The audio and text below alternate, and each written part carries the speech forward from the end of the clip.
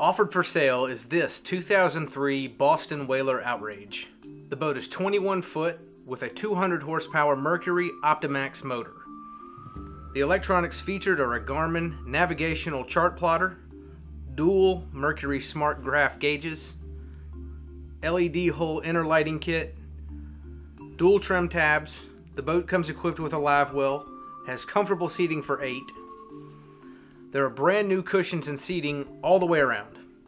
A brand new red canvas on the T-top.